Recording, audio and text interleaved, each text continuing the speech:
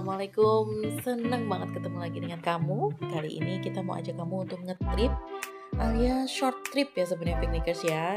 Tapi kali ini piknikers punya itinerary yang sedikit berbeda Karena kita tuh ngetripnya menggunakan bis. Jadi kali ini kita mau jalan dari Jakarta sampai ke Yogyakarta Dan sedikit melipir ke Gunung Kidul. Wih, enak banget gitu tempat kurung tangi. Kita mau ibadah sholat duhur dijamak sama asar sekalian ya bapak ibu. Ya yang masih tidur mohon dibangunkan biar nanti tidak bingung kok kita mampir di masjid mau ngapain gitu. Ini guys karena kebetulan kita uh, ngetrip menggunakan jasa tour and travel. Jadi kita menggunakan bis ukuran besar dan rute kita tuh dari Jakarta, Solo, Klaten sampai nanti kita sampai ke Yogyakarta. Kalau misalnya kamu kebetulan kayak kita yang sampai di kota Klaten terus pas banget jamnya sholat, kamu bisa mampir ke salah satu uh, masjid besar yang ada di kota Klaten namanya adalah Masjid Agung Al-Aqsa Kota Klaten. Lokasi Masjid Agung Al-Aqsa ini strategis banget karena berada di jalan utama uh, Solo Klaten dan lokasi parkirnya juga luas banget, tidak hanya menampung kendaraan roda 4 tapi juga bus besar. Piknikers, Masjid Al-Aqsa Kota Klaten ini merupakan salah satu masjid terbesar yang ada di Kota Klaten yang mampu menampung cukup banyak jamaah. Kamu bisa lihat arsitekturnya tuh uh, sepertinya mengadopsi Timur Tengah ya piknikers. Untuk kamu yang mau istirahat sejenak sambil menikmati udara kota Klaten habis perjalanan jauh, kamu bisa rehat sejenak di beberapa uh, spot taman yang rindang di sini. Kalau misalnya kamu kebetulan bawa makanan dan mungkin mau sambil makan, sepertinya diperbolehkan ya piknikers oleh pihak masjid asal jangan buang sampah sembarangan. Nah, piknikers kebetulan karena kita ikut uh, tour dengan travel, kita juga dapat nasi box untuk makan siang. Jadi, kita makan dulu yuk.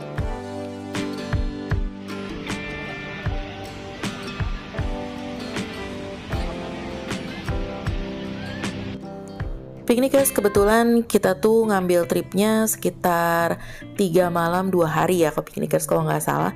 Karena kita berangkat dari Jakarta tuh uh, sore hari supaya kita bisa bobok di bis aja. Karena paketnya tuh paket hemat aja ya piknikers jadi akhirnya kita nginep satu malam di salah satu hotel yang deket banget sama Malioboro nanti.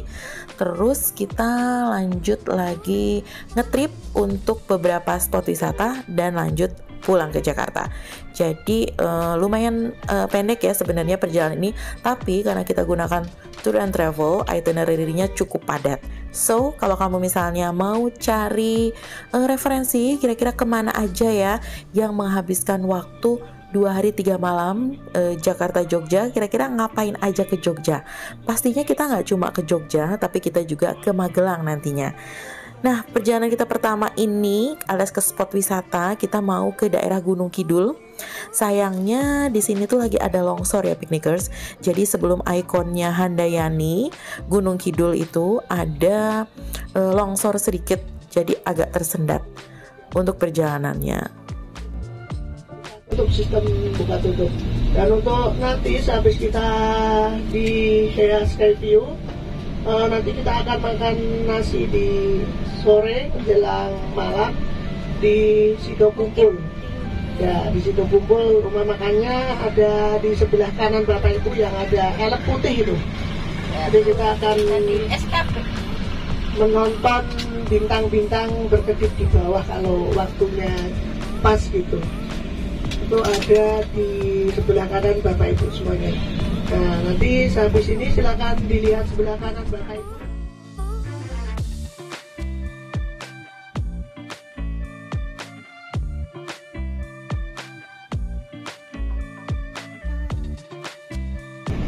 deh. Ah, tinggal nambahin gurine ya. Ora.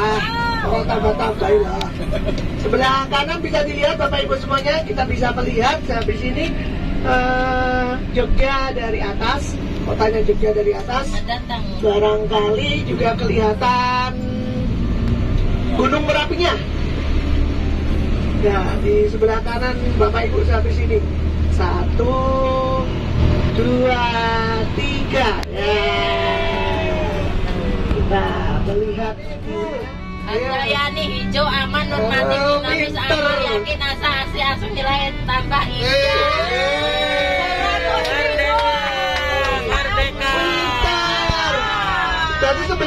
Nih ada Yaninya dan itu ada to- eh, topengnya.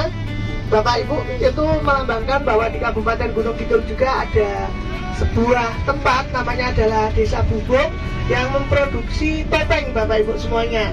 Jadi di sini di kerajianannya di sini nggak bakal bosen kalau ke sini gitu.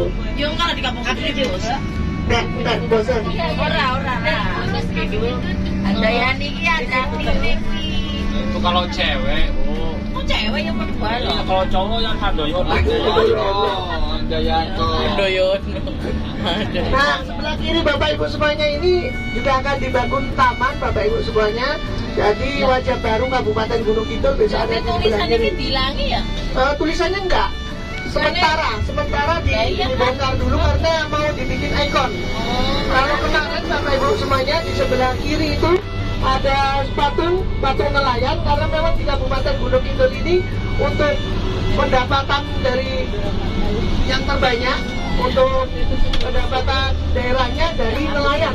Walaupun sektor pariwisata adalah banyak di sini, maksudnya wisatawan datang banyak, akan tetapi untuk penghasilan utama di sini paling banyak dari sektor nelayan gitu. Buaya Ya tadi di sebelah kanan itu ada tulisan Gunung Sewu.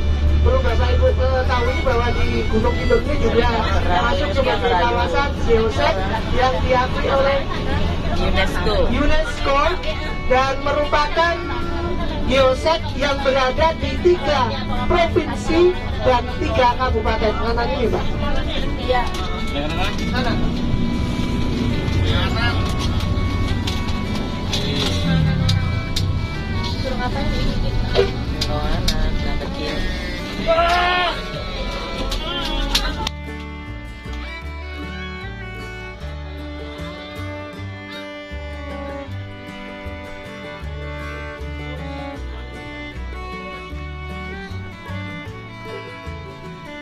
Berarti karena sebentar lagi sampai nih, Bu. Lima menit lagi kita sampai. Berapa jam? Ini guys, jadi destinasi wisata yang pertama yang mau kita datengin ini adalah Heha Sky View yang lokasinya tuh nggak jauh dari ikon Handayani atau ikon Gunung Kidul Handayani. Jadi nggak jauh dari lokasi itu, kamu tinggal belok kanan dan menyusuri jalanan yang nggak begitu lebar, tapi kalau misalnya bis besar aja bisa masuk, apalagi kendaraan pribadi ya piknikers. So jalan ini masih terhitung aman untuk kamu lalui. Payung-payung itu ibu bapak. Nah di bawah payung-payung sebelah kanan bapak ibu semuanya. Wih, malah masang mas ini. Alah mas, wo wo, ganjel wo, aduh, Oh, anakku cilik wo, iya anak. La haula wala quwata sudah dari tuan. Nah, Piknikers, ini adalah lokasi parkir bis untuk kamu yang mau ke Heha Sky View. Tapi untuk kendaraan pribadi, eh, ada kantong parkir tersendiri yang lokasinya nggak jauh dari pintu masuknya Heha Sky View. Sebelum kamu masuk ke Heha, kamu butuh untuk intip ini dulu, Sapu Jagat Community. Jadi buat kamu yang pengen ngetrip dengan cara yang berbeda, mungkin mau naik kendaraan jeep dan muter-muter ke sekitaran Heha View untuk mengunjungi beberapa spot wisata, itu bisa jadi pilihan. Oke, piknikers, sekarang saatnya kita explore Heha Sky View. Kira-kira ada apa aja di sini ya, piknikers? So, kita sudah masuk ke dalamnya. Tadi kamu dipan dipandu atau disambut dengan payung-payung cantik ya, piknikers.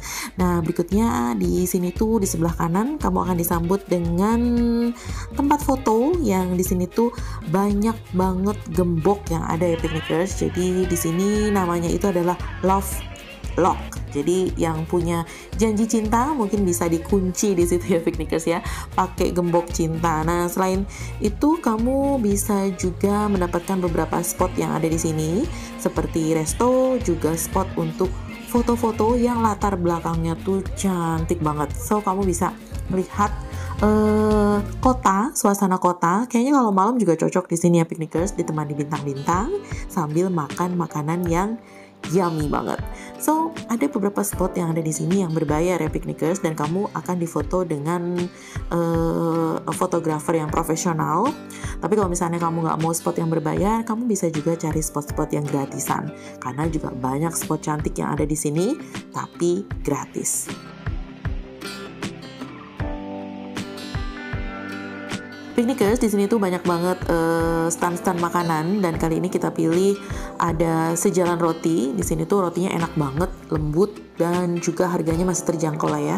Sekitar 20 ribuan untuk satu paket ini dan itu tuh kenyang banget. Nah, untuk uh, air kelapa mudanya sendiri ini tuh 25 ribu tapi uh, airnya tuh banyak dan lumayan apa ya pastinya menyegarkan piknikers jadi ini tuh perpaduan yang keren. Jadi keren dan enak. Jadi kalau misalnya kamu ke sini mungkin kamu bisa coba pilihan kita ya. Kalau misalnya sudah puas-puasan di uh, Heha Sky View, kamu bisa lanjut untuk masuk ke gift shop karena di sini banyak banget pernak-pernik cantik dan harganya juga kayaknya masih terjangkau. Jadi silakan pilih-pilih, mungkin ada yang cocok yang bisa kamu gunakan untuk oleh-oleh nantinya ya. Ini kan setelah kita uh, puas mengeksplor Heha Sky View, lanjut kita untuk mengeksplor tempat selanjutnya. Ini adalah SKP. SKP ini banyak spot untuk foto juga. Nah, karena tadi janji dari travel kita mau makan malam di sana, jadi kita makan malam ditemani view cantik. Lanjut lagi perjalanan karena udah mulai malam ya piknikers. Akhirnya kita lanjut perjalanan untuk ke Malioboro jadi hotel kita tuh nggak terlalu jauh dari Malioboro. Kalau misalnya agak mau capek-capek dikit tinggal jalan kaki aja.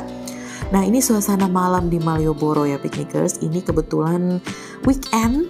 Nah kamu bisa lihat di sini gak cuma sedikit macet-macetan, tapi kamu juga bisa melihat ada uh, apa festival musik sepertinya di sini ya.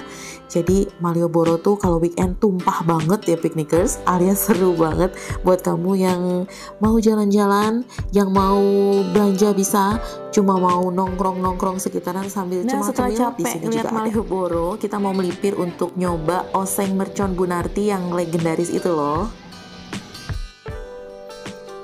Piknikers, karena besok kita mau cus langsung ke destinasi selanjutnya, kita putuskan untuk malamnya cari oleh-oleh bakpia patok dan yang kita dipilih adalah kali ini pusat oleh-oleh Pasar Patok 25. Di sini tuh kamu bisa dapet bakpia langsung panas-panas fresh from the oven. Oke piknikers, waktunya untuk istirahat. Kita nginep di Patra Malioboro Hotel yang lokasinya tuh nggak jauh dari Malioboro. Jadi kalau misalnya malamnya kamu mau explore ke teras untuk belanja-belanja atau sekedar cari-cari makanan, kamu uh, bisa langsung dari hotel ya piknikers. Mau jalan kaki oke, okay, cari beca juga oke. Okay. Nah paginya kita sarapan dulu. Di sini tuh sarapannya banyak banget pilihannya dan rasanya juga oke. Okay. Pelayanannya juga friendly dan hospitality-nya good lah piknikers ya. Dan yang pasti hmm, tempat ini tuh strategis banget kalau misalnya kamu emang niat banget untuk nge-explore Malioboro.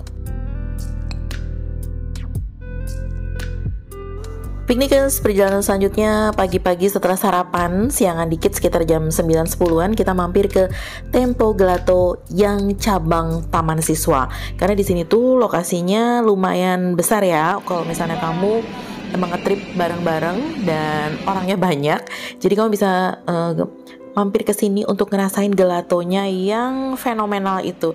Jadi di sini tuh banyak banget rasa gelato dengan berbagai rasa dan racikannya tuh kamu bisa pilih-pilih ya piknikers. Kamu bisa langsung datang ke kasir untuk pilih cup. Cup terkecilnya itu sekitar Rp25.000. Kamu bisa minta uh, racikannya seperti apa nanti akan dilayani. Piknikers, kita mau lanjut untuk cari-cari batik Nah, kita mau mampir ke Batik Yudhistira yang masih lokasinya tuh deket banget sama Tempo Gelato yaitu di Taman Siswa. Jadi di sini tuh ada uh, dua lantai ya piknikers. Jadi kamu bisa explore batik untuk pria, wanita dan juga anak-anak. Khusus di uh, lantai satu itu digunakan untuk parkiran kendaraan. Jadi kamu harus naik ke lantai 2 dan 3 untuk cari-cari fashion apa yang bisa kamu bawa pulang mungkin untuk oleh-oleh atau mungkin untuk kamu pakai sendiri. Size-nya dari yang kecil sampai jumbo ada ya piknikers. Untuk harganya juga variatif banget dan kamu bisa sesuaikan dengan budget lah ya kalau misalnya kamu lagi cari-cari hem atau kemeja batik di sini tuh ukurannya oke, okay, warnanya macam-macam, bahannya juga macam-macam. Nah, piknikers capek belanja batik saatnya makan siang. Nah, makan siangnya kali ini tuh di Ingkung Grobok. Buat kamu yang cari makan makanan khas Jawa, di sini tuh disediakan ya piknikers karena kebetulan kami ikut paket wisata jadi makan siangnya itu sudah disediakan. Untuk rasanya sendiri lumayan oke okay ya piknikers dan kayaknya memang nggak terlalu banyak pilihan kan memang tergantung dengan paket wisatanya. Tapi kalau misalnya mau nambah additional menu ya paketnya macam-macam lah di sini jadi tergantung pilihan kamu. Kali ini kita tuh makan ada sayur sop ayam gorengnya juga yummy dan tempe kemulnya itu ya piknikers enak banget Piknikers, kita mau lanjut perjalanan ke Magelang. Jadi dari Jogja ke Magelang ya piknikers. Nah di Magelang ini kita mau mampir ke dua destinasi wisata. Ke mana aja, pokoknya kamu harus pantengin terus video kita. Yang pasti lokasinya itu hmm, menarik untuk yang suka foto-foto karena kamu bisa ketemu dengan Santorini ya. Maksudnya adalah kamu bisa foto dengan latar Santorini dan beberapa uh, latar uh, jalan setapak yang pokoknya uh, estetik dan instagramable banget buat kamu yang suka foto. Kita di sini satu jam, sekarang jam setengah dua pak, Mas Ade. Berarti setengah empat kita sudah Piknikers, destinasi kita selanjutnya ini masih ada di daerah Sleman ya Piknikers. Jadi sebelum kita lanjut ke Magelang, kita mau mampir ke Bumi Merapi. Ini merupakan uh, argo wisata, tapi di sini kamu bisa menikmati suasana yang keren, yang khususnya buat kamu yang suka banget foto-foto. Kamu bisa ketemu dengan uh, kota yang indah gitu ya piknikers karena di sini tuh ada uh, salah satu spot wisata yang bangunannya tuh mirip dengan Santorini yang ada di Yunani. Buat kamu yang misalnya mau paket untuk sewa pakaian di sini juga ada. Terus kalau misalnya kamu suka foto-foto di gang-gang yang tematik di sini juga ada ya piknikers. Udah dulu ngebahas tentang bumi merapinya, kita mau langsung lanjut ke Magelang. Tepatnya tuh kita mau menikmati suasana di sore hari sebelum kita balik ke Jakarta. Kita mau menikmati suasana di sekitaran Borobudur. Kira-kira ke mana? Ikutin terus perjalanannya ya.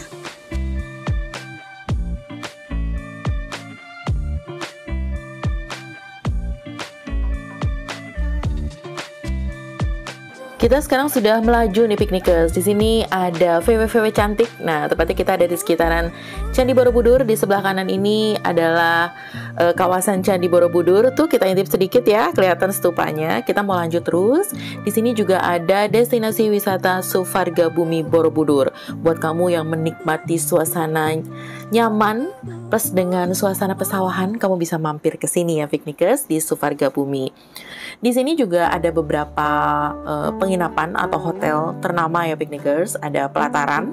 Lalu eh kita ketemu lagi dengan barisan VW-VW cantik ya piknikers. Ini tuh lagi ngetren banget untuk berkunjung ke kalau nggak salah tuh desa wisata ya. Jadi kalau misalnya kamu menyewa VW, kamu akan diantarkan untuk paket wisata ke desa wisata.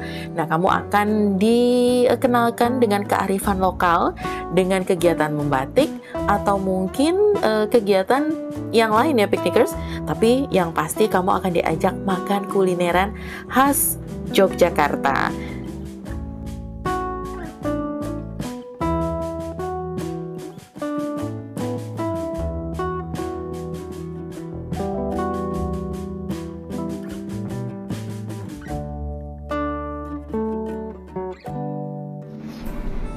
Piknikers kalau ngomongin VW-nya udah, kita mau lanjut lagi perjalanan masuk lagi ke sekitaran kawasan nggak jauh dari Candi Borobudur karena sebenarnya dekat Candi Borobudur tuh ada Candi Mendut juga ya Piknikers. Nah di sini juga ada uh, satu cafe yang ngetren banget. Ini adalah Langit by Enam Langit by Pelataran kalau nggak salah namanya. Nah di sebelah kanan ini adalah kawasan uh, Pelataran ya Piknikers. Itu adalah hotel yang sultan banget karena harganya juga semalamnya tuh lumayan banget ya. Tapi kalau misalnya mau memang ingin healing terus mungkin ada momen istimewa mungkin kamu bisa coba baik resto maupun hotelnya.